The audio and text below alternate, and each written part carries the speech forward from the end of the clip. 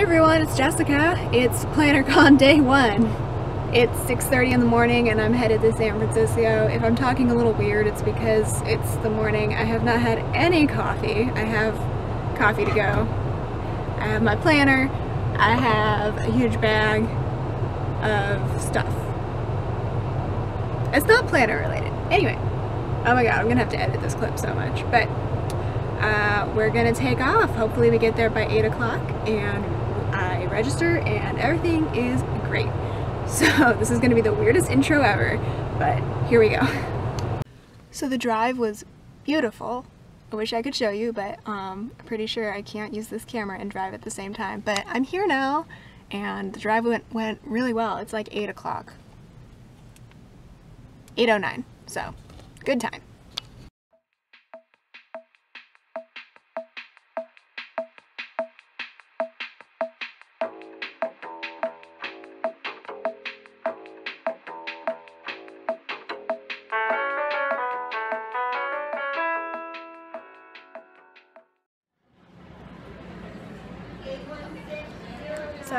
Already ended up buying something. I got this little charm for Nathan because this is his favorite guy right now, so. And then I got a little free heart charm as well.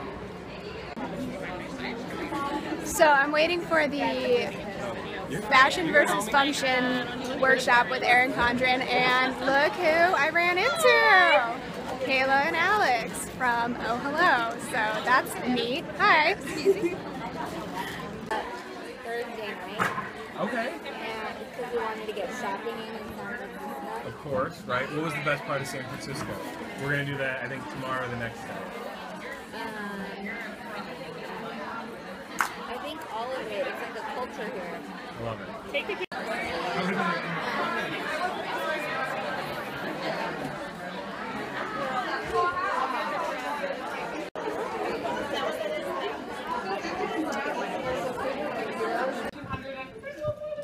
in here, so. Okay, we'll have fun. Um, we're hoping this will be, um, we know there's a lot of us, but we do want it to be sort of a open communication. If you guys have ideas, please share them with us, share them with the tables. We don't want to be speaking at you. I don't I can't get into the stick. I do sometimes. If I need to grab it.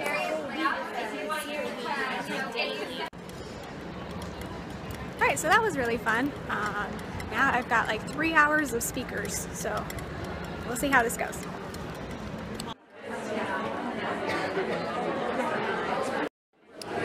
So I'm all by myself again, and I'm waiting for the Brian Taylor workshop speech thing. I don't know what we're talking about, but I will soon find out. But I am so thrilled you are all here for PlannerCon 2017. So let me ask you, how are we doing so far? And how about those swag bags?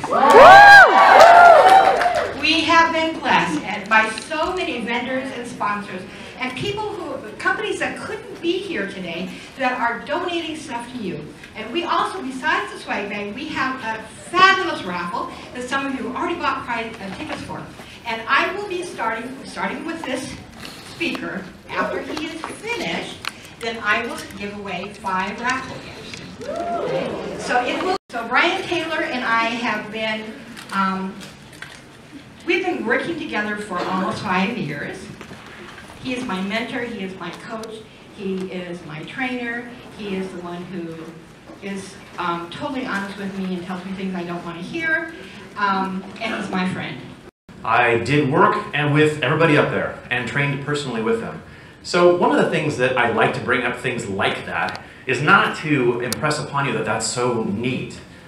It impresses me, to tell you the truth, because I'll tell you more about myself from where I came from kind of as we unfold together today. But I'm still kind of looking back and going, wow, those are some pretty cool people. How the heck did I get there? I mean, I'm a, I'm a high school kid. I got, and I'll, I'll tell you a little bit more about my nonprofit, but I, I got kicked out. I, I, was, I was on the streets when I was 17 years old. I was selling drugs. I was out of control. Next year. And then what happens next year? Same thing, because they're still getting ready. So I'm really going to be uh, impressing upon you today action, action, action, action. I'm a results dude. That's what this whole thing is going to be about. That's where I entitled this How to Squeeze More Out of Your Day, Week, Month, Year. Because that's really what it's about, at least from my opinion. So Anybody can come along and say, oh, make it a little better, right? You come through and get 2% better. That's so uninteresting to me whatsoever. I have one of my clients that has a real estate brokerage right now. I have bumped their sales 30% in 30 days, 1% per day.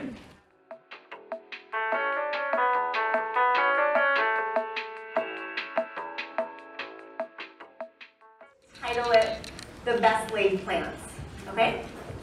And the reason I want to talk about that is because so often as people who really want to create the life they love, we tend to focus on certain things and we plan things, and we organize things, and we do our best to make things happen a certain way.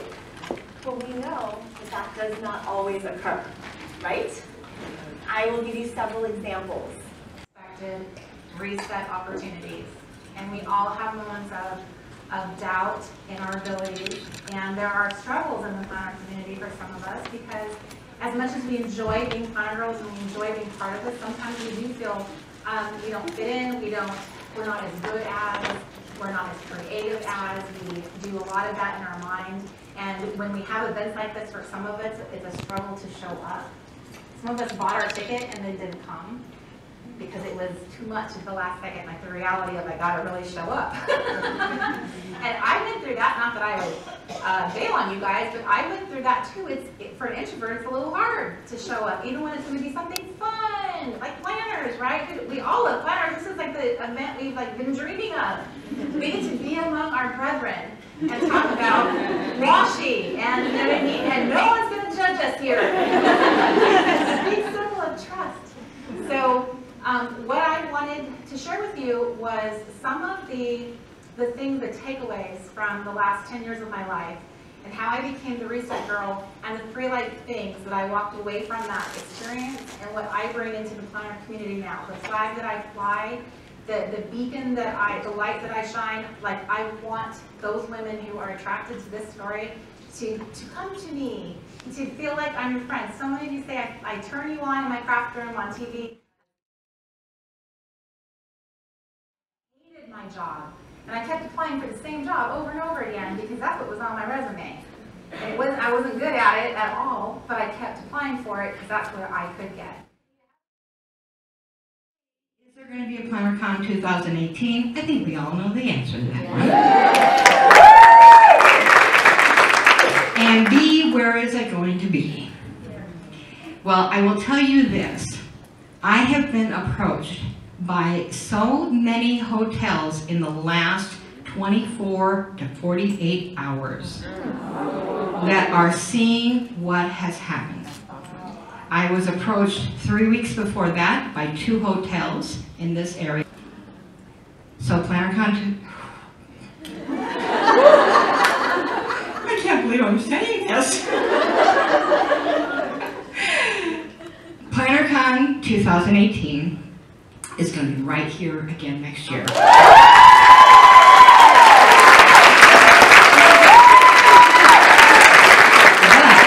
Next year, on March 3rd and 4th, the first weekend we will be back here for PlannerCon 2018. Now, So I said this a little earlier, but I think my phone cut me off while I was vlogging. Um, I'm done with all three speakers now. They all had something really awesome to say, so that's really cool. Um, kind of not only applying to planners, but also like my life, so that's helpful. Um, and then uh, Corey's speaker went a little bit longer, but that's totally fine because she was probably my favorite. Just like about, you know, her whole thing, resetting your life. And uh, so I've been waiting. I got some coffee because I've been up, up since 6 a.m. and I normally go to bed at like 1 a.m. And then I have a lettering workshop, and then that's all of the agendized items for my day. Agendized. The words I use. I don't even know who I am.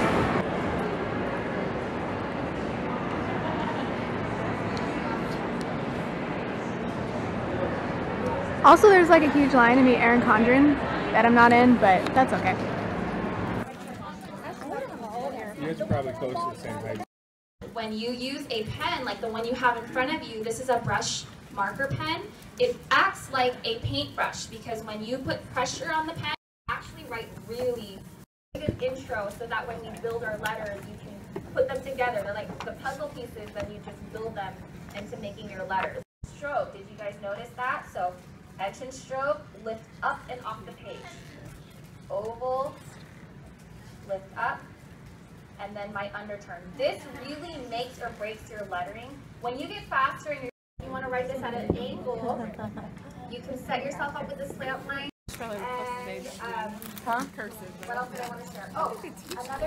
All right, so that's a wrap on PlannerCon. I can't even talk. All right, so that's a wrap on PlannerCon day one.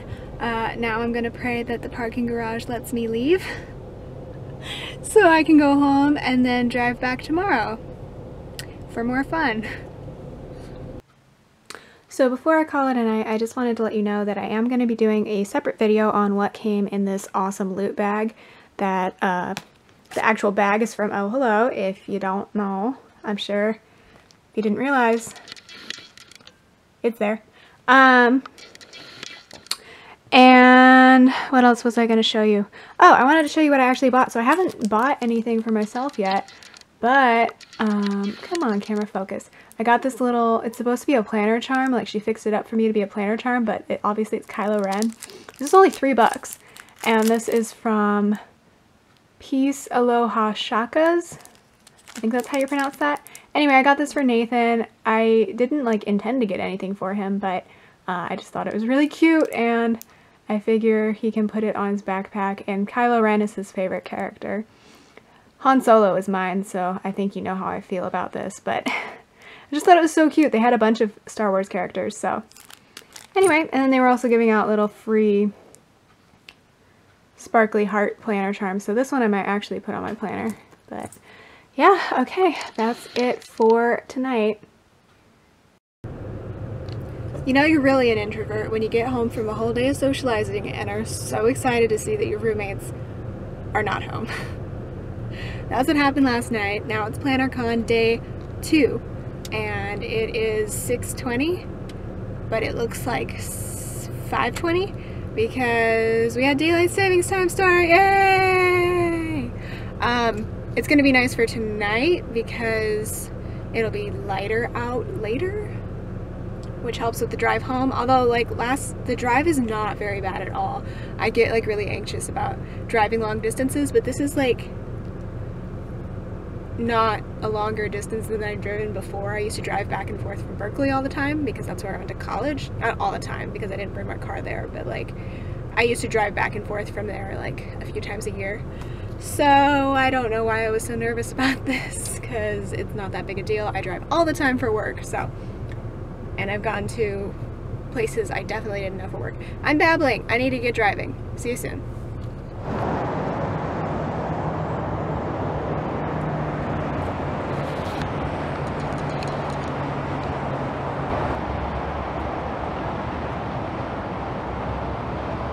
Are you totally that person who drives to the top of the parking structure because you just don't want to deal with parking inside one? Because that's totally me, and I'm not even mad.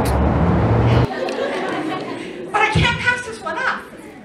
And when all of you asked, or some of you asked if you could wear pajamas here, I envisioned Erin Condren pajamas walking through the whole. I figured everyone's coming in pajamas. What the heck?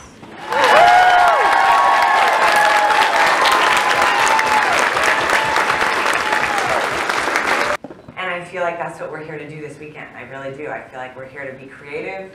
We're here to motivate one another, and hopefully that you will leave inspired uh, to do something of your own, something that, that charges you. I know there's, I don't know if she's in this first group, but there was someone that was at another conference and heard a lot of this um, speech here today, and she left. Did she hear the author?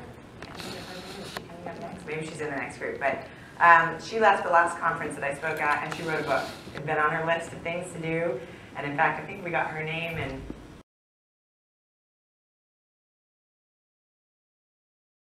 you had no idea what this was just by looking at it. you could kind of figure out what it's supposed to do. No instruction manual.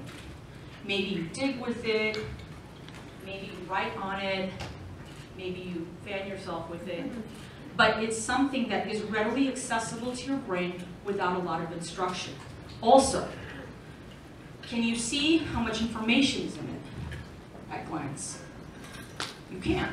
You can see it only contains this much space. It can't get bigger than this. Well, if it's Teresa's, it can, but, you know. So this would be considered an analog device. Thank you, Micah.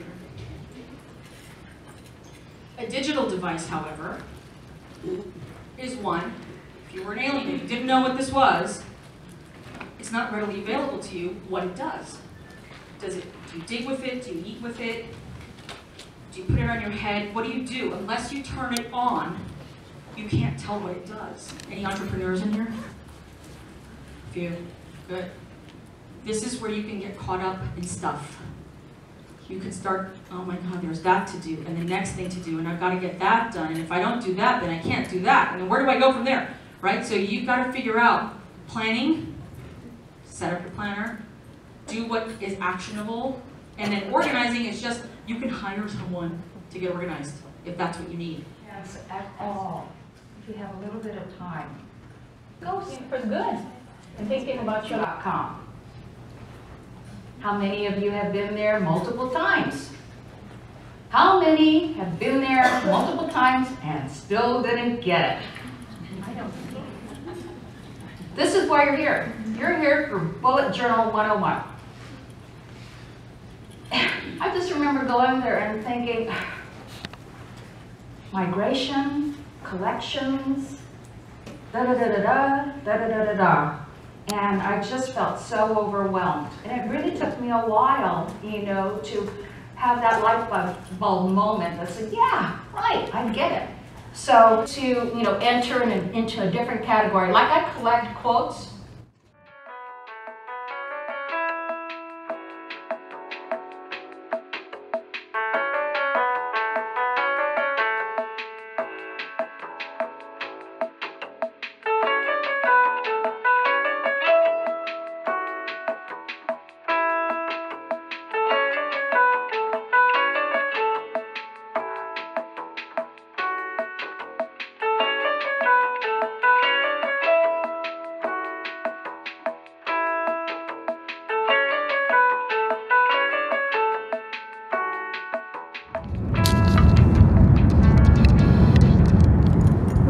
chat. Um, this morning was really fun with Erin Condren. Uh, got lots of goodies that I'll show you later.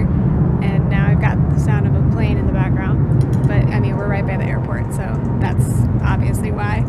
Um, you hear that? And uh, I have a bit of time between my last workshop, which was the bullet journal journaling explanation, and then I have the dividers workshop with Prima planners, Prima marketing. So I'm just gonna eat lunch, walk around, and then go to my workshop. And then I'm pretty much done for the day after that. So I'm not sure what I'll do after that. I'm toying with the idea of going over to Berkeley on my way home, because it's on my way home anyway, but we'll see what happens.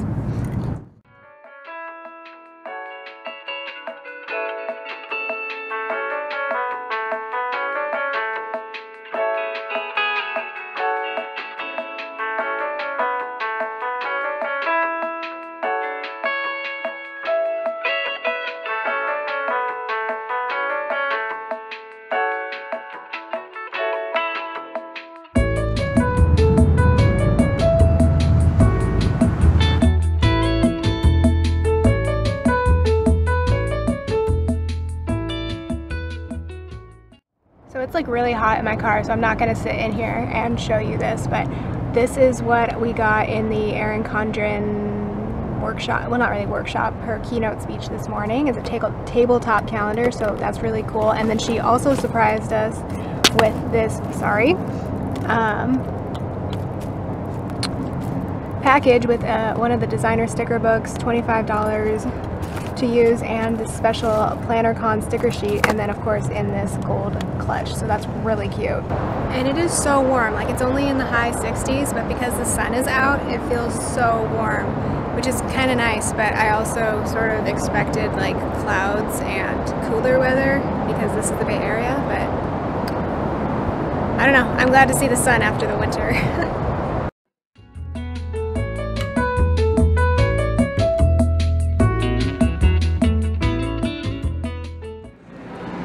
Okay, so clearly I'm still a five-year-old who can't color within the lines, but I grabbed an, they let us grab extra ones, so maybe I can practice at home. but that is going to be it for me at PlannerCon. I'm going to head home now. Uh, pretty much, I've pretty much done everything I can do, so I'm going to go ahead and drive home in Sunday afternoon traffic. It's going to be really fun, but thanks for watching, and I'll talk to you later. Bye!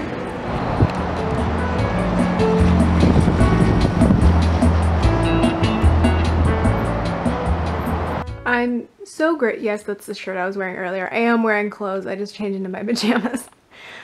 anyway, I am so grateful for all of this amazing stuff that was given to me this weekend, but I'm also like super overwhelmed by what am I to do with it? Where am I to put all this stuff? It's so pretty. I just want to leave it stacked on this chair forever. Like, seriously? it's so amazing to see this and obviously I paid for a ticket but to me that's like paying to have the speakers speak to you and people educate you and all this stuff is just a fun extra so I'm gonna leave it here for now and figure out what to do with it later. I am, like I said earlier, I am going to be doing a what I got at PlannerCon video, so watch out for that because that's going to be a fun video to film. so this is the real end of this video and thanks so much for watching this craziness and I'll talk to you next time. Bye!